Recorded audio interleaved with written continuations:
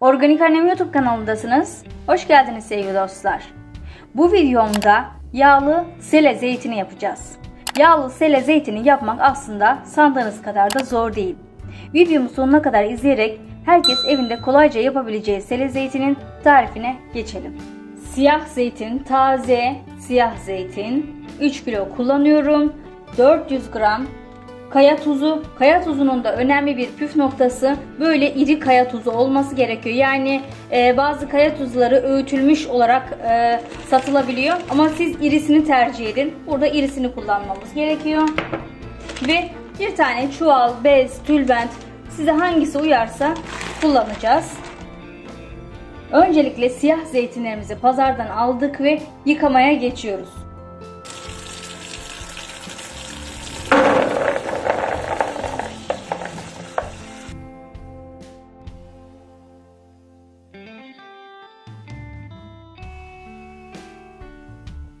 Fazla suyunun akması için böyle bir e, süzgeçli bir kap kullanabilirsiniz, sepet kullanabilirsiniz.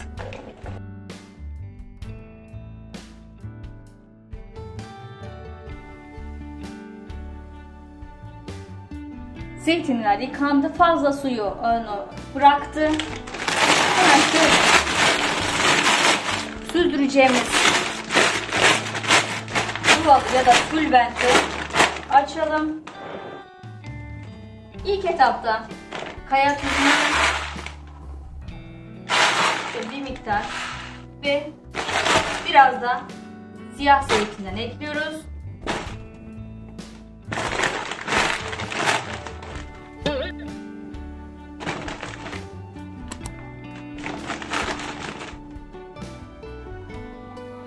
Ve hatta şu şekilde yapabilirsiniz.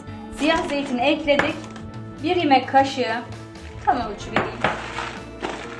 Ekleyip bir daha zeytin ekliyoruz.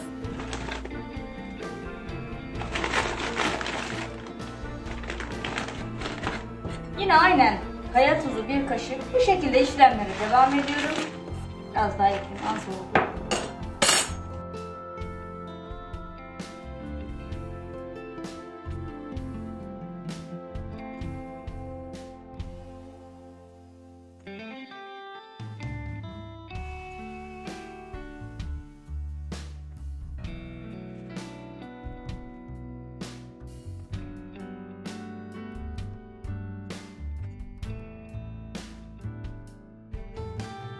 İşlemimizi tamamladık. Şu şekilde delikli bir süzgeci ayarladık. Gördüğünüz üzerine ekliyorum. Suyu alta olacak. Üzerine koyuyoruz. Ve bu şekilde bekliyor. Her gün her gün mutlaka çuvalımızı şu şekilde alıyoruz. Şöyle alt üst ediyoruz. Elimizle karıştırmıyoruz. Sadece çuvalı iteleyerek, çekerek karıştırıyoruz. Ve buradan siyah e, zeytinin acı suyu aşağıya akıyor. Bu kabın altındaki suyu da mutlaka boşaltalım. Çünkü tekrar kendiyle temas etmesin. Günlük suyunu dökelim. Karıştırıyoruz, karıştırıyoruz. Günlük bu şekilde. Şöyle ağzını kapatalım. Bekleyeceğiz zaman. Güneş almayan serin bir yerde beklemeye alalım. Siyah zeytinimizin ikinci günü şöyle sallamaya başlayacağız. Öncelikle göstermek istiyorum içini. Gördüğünüz gibi suyu henüz akmadı. Zeytinimizi şöyle bir sallıyoruz.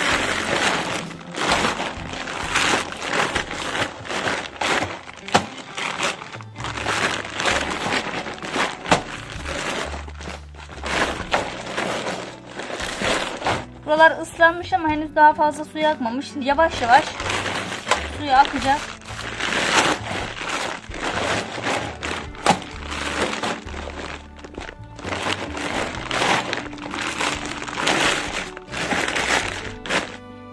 Şöyle tuzlarını alt üst ettik. Bu şekilde her gün aynı işlemi yapmaya devam. Siyah zeytinimizi yapalı yaklaşık 4 hafta oldu. 4 haftadan bu yana e, temizlemek istemedim. Size nasıl olduğunu göstermek için şöyle üzerine küçük bir ağırlık koydum. Yani fazla bir ağırlık değil ama e, havalı kalmaması için şu şekilde içerisindeki tuzu da göstermek istiyorum. Bakın şöyle. Özellikle yıkamadım size göstermek için. Şimdi hemen iç kısmına bir bakalım.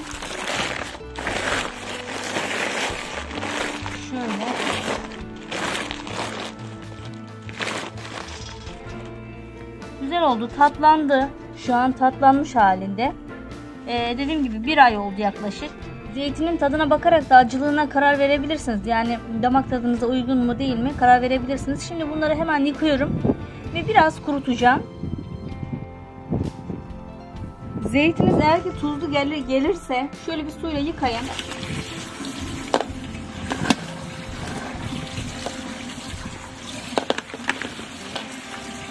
Fazla suyu tuzunu almak açısından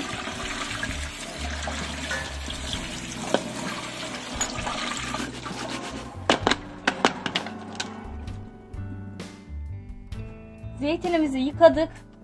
Şöyle suyu akması için süzgeçli bir kap kullanın. Eğer ki tuzluysa yıkayın bu işlemi. Tuzsuzsa istediğiniz orandaysa yıkamanıza gerek yok. Şimdi bir miktar kurutacağız. Eğer ki kuru sele istiyorsanız, kuru sele istiyorsanız bu işlemi yapacağız. Bu şekilde istiyorsanız yine bir miktar kurutmamız gerekiyor. Çünkü bunu suyla yıkadığımız için. Ee, bakalım kurumaya bırakalım şimdi. Güneş almayan bir yer. Bir gün kuruyan siyah zeytinlerimizi kavanozumuza dolduruyoruz.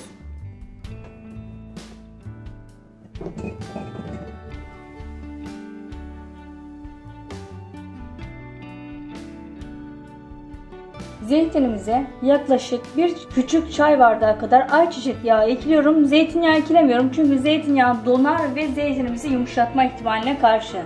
Sıvı yağımızı, ayçiçek yağımızı ekliyorum. Eğer ki daha fazla yağlı istiyorsanız miktarı arttırabilirsiniz.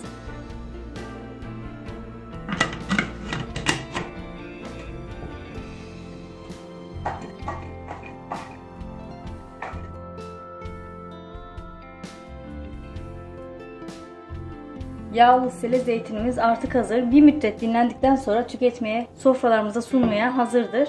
2-3 gün dinlendikten sonra siyah zeytinimiz artık sofralarımıza sunulmaya hazır. Şimdi hemen açmak istiyorum.